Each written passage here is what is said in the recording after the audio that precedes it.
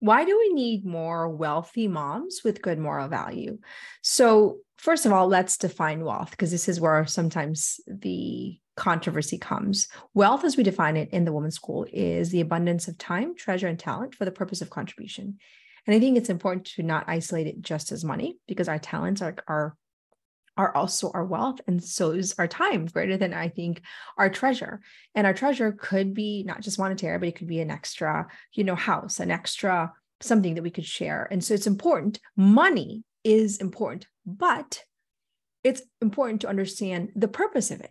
Wealth as an end in itself does not actually fulfill us.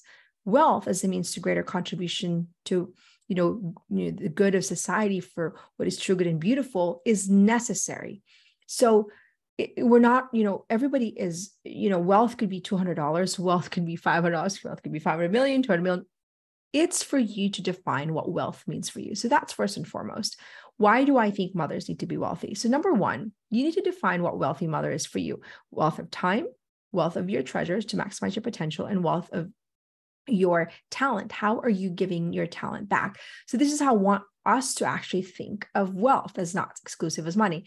Now, let's talk about your talent. Our talent needs to be developed as mothers. We can't use motherhood as an excuse to actually not develop whatever talent we have, whether it's speaking, writing, sewing, singing. We need to find the time to say, if my talent is better served to sing at church, to write a blog, to maybe I don't know, coach a soccer, then we're saying I'm utilizing my talent for my ability to contribute to the highest good.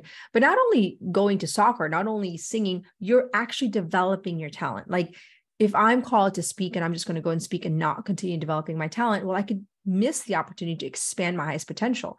We need to be continually developing our talent. And I think that's a beautiful thing is that motherhood is not a place of arrival it's this place of expansion and continuous growth and so when we think about wealth and we think about our, our, our talent it's continuous because as we continue to grow and, and chisel our talent, we could discover new things about us that we never did before. That's the same for me. And with business, to me, I felt like, oh, I never really uh, dreamt of being in business. I just had a dream of training women. It was my passion, which led me to say, well, if I wanted to train millions of women, not just thousands, I actually need to learn how to build a business. Oh boy, what was that like to build a business? Now I'm learning to build a business.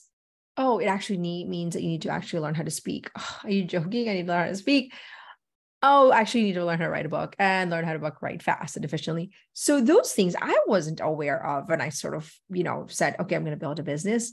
My, you know, the opportunity came upon as I continued to actually step into developing my potential. So that's what I want you to think about yourself is that motherhood is a place for us to expand our wealth, which is our talent, our treasure. So financially, what good would extra 200 500 a million $2000 be in this particular season of your life? Let me give you an example. Jack ryan um, my oldest son, uh, you know, has always played golf since he was nine months old. I never knew that it was actually kind of a unique situation because I married Ryan, who was a, you know, um, professional golf teacher, and I just thought that was normal. I didn't realize that he really had a talent for golf. So fast forward to now, he has always played golf. He excelled. He always won tournaments. He kind of, you know, almost made it to the Masters, the um, the trip trip for the kids, and so part of this is that his coach came up and said, listen, this is how much it costs to actually train at the highest level. And this year he decided uh, in his own volition, we kind of gave him a fork on the road and say, listen, if you really want this and this is part of your call, then you can either homeschool or you can go to school. And so I kind of, we were sort of detached or hands off. My role is to provide the opportunities for him and the best opportunities for him to fulfill his divine call. And so, anyways, he decided to homeschool, which I thought was wow. And he was, you know, developing skill after skill and really realized his coach wasn't the best coach. And so we were looking for the best coach and that's what we train him and say, listen, you, you know, there's a recipe for success. You find the best person who's done it, the best coach, and that's where you go. And that's what you train after. Because if that's your call, you want to fulfill your call and find the best person to help you fulfill your call. And then we got sort of slapped with like, okay, this is how much coaching with this, you know, we found this great coach. And it's like, oh, it's actually X, Y, and Z per hour. And so you know, my role as a mom is say, how can I build wealth to support his call? So that if he's called to play golf at the highest level, and I always sort of prayed and hoped that he would use his golf career to bring glory back to God. then I, in some ways, am obligated to make sure that he fulfills that call, which means I need to fulfill my call to actually make enough money to support his call.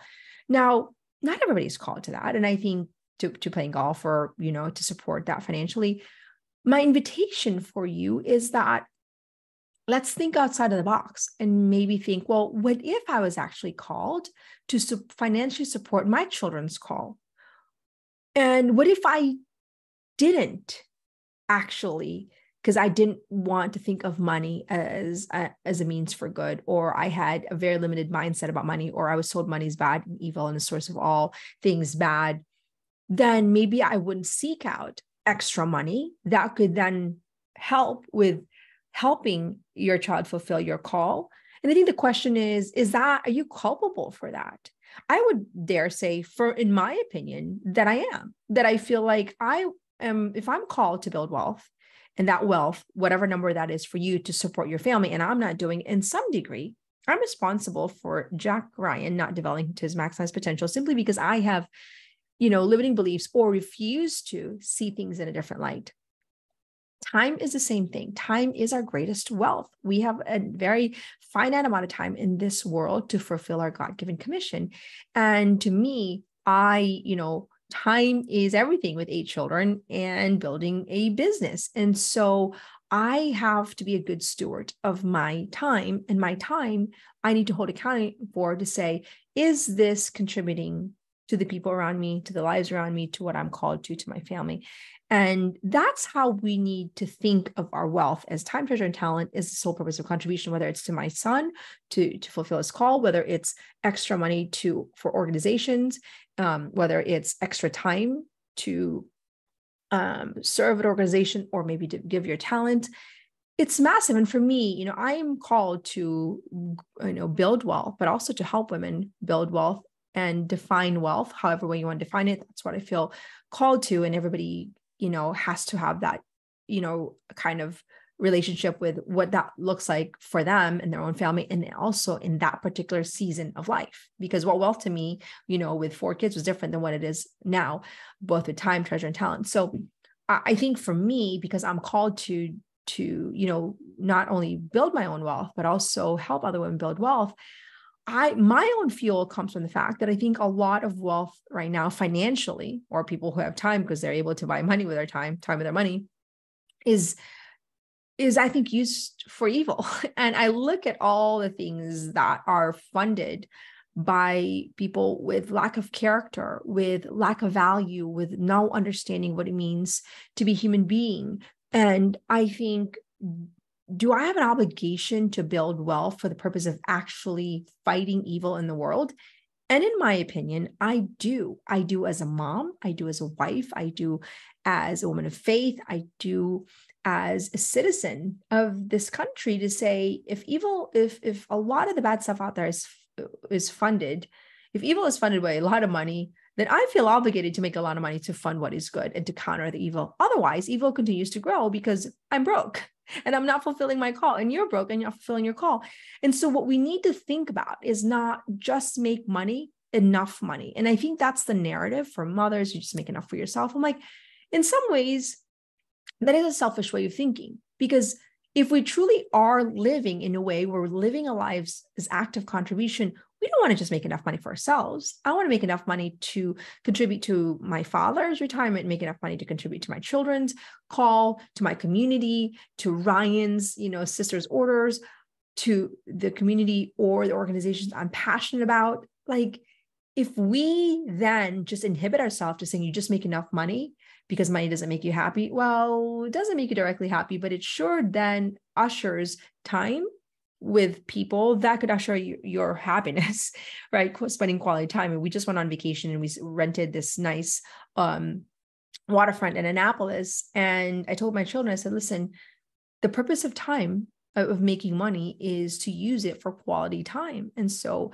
I always bring it back down to purpose for them. And so bringing it back now to why why we need mother values to make, you know, to build greater wealth because we need more people that are going to use wealth for a greater contribution both their time, treasure and talent. And I think we need to shift this narrative of the idea that money is bad and evil. Money is neutral. And I think we are slowly kind of shifting that narrative that money is neutral, but it's so deeply embedded in women's subconscious that automatically it's sort of this resistance of okay okay money is not bad but i don't want to make money because it kind of subconsciously makes me feel like i'm just kind of bad not a good mom. And and i just think that that narrative has inhibited our ability to create a beautiful and meaningful experience and home for our children. And wealth could be defined in whatever number you think it could be but the call is that you're fulfilling your unique call to contribute to the world whatever that looks like wealth wise time treasure and talent. And that's my invitation to you is that if you are open to replacing some of the limiting beliefs as a mom and wealth then perhaps doors of opportunities could open not just for you but for the lives and the people you love around you. And so i want to just drop that seed of thought in there and really ask yourself how can we truly bring greater good and more good and fight the evil in the world using our time treasure and talent for the sole purpose of contributing to the lives and the people in the community and the country around us? So think about it and ask yourself where are you in your wealth journey